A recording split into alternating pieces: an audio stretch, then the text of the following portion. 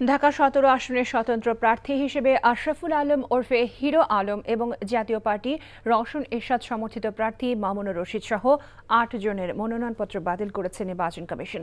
মনোনয়নপত্র যাচাই বাছাইয়ের শেষ দিনে এই সিদ্ধান্তের কথা জানান ঢাকা সতেরো আসনের উপনির্বাচনের রিটার্নিং কর্মকর্তা ও ঢাকা জেলার জ্যেষ্ঠ নির্বাচন কর্মকর্তা মুনির হোসাইন খান। এর আগে বৃহস্পতিবার আগারগাঁওয়ের জেলা নির্বাচন অফিসে রিটার্নিং কর্মকর্তার কাছে মনোনয়ন ফর্ম জমা দেন হিরো আলম।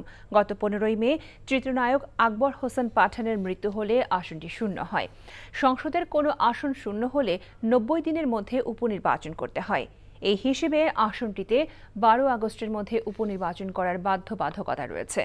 আসনটিতে যিনি নির্বাচিত হবেন, তিনি পাঁচ মাসের মতো সময়ের জন্য সংসদ সদস্য হবেন।